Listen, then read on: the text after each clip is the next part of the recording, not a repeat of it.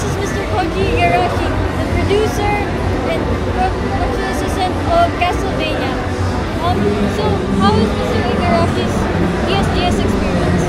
今回の ESDS の経験はどうどうですかえー、と初めて来たんですけど結構こんなに盛り上がってると思ってなかったのとあと,、えーとまあ、僕のファンがこんなに多かったのがすごい今、えー、と衝撃的なのと同時にすごい疲れてます。So this is my first time in Philippines, and um, this,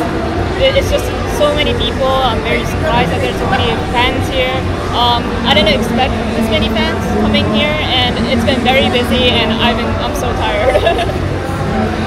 So, I heard that you're going to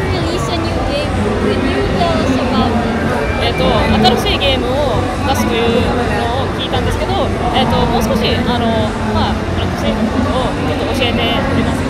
はい、えーと、ブラッドステインドはですねあの去年、えーと、キックスターターでクラウドファンディングをしまして、えーと、無事ちょっと大成功を収めさせていただいたタイトルになりまして、えー、ゲーム自体は 3D で表現されている 2D の横スクロール探索型アクションゲームになります。え18世紀のイギリスを舞台に、えー、まあえー、とゴシックホラーな感じで、えーまあ、そういうテーマで、えー、作っております。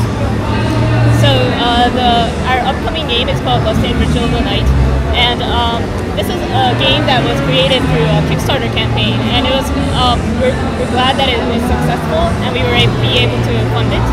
And um, the Bloodstained game is made in 3D, but it's a 2D action side scroller uh, action game. So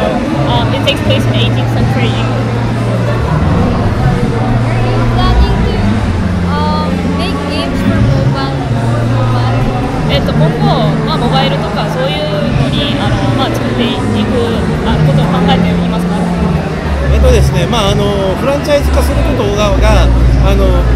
想ではあるんですけれどもただあの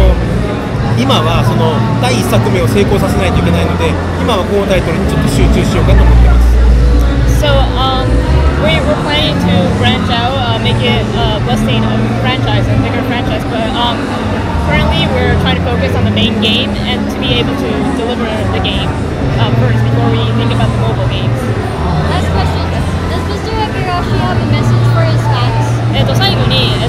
皆様にちょっとあのコメントまあなんかありますか？コメント。そうですね。えー、っとですねあの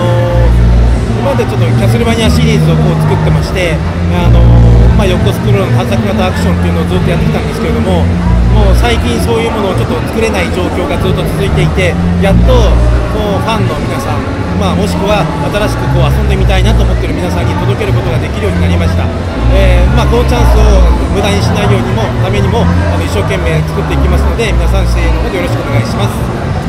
It's been very hard to create these uh, retro style like 2D action platformer games in the today's gaming scene and I'm very glad that I'm able to have this chance to create one for the fans and um,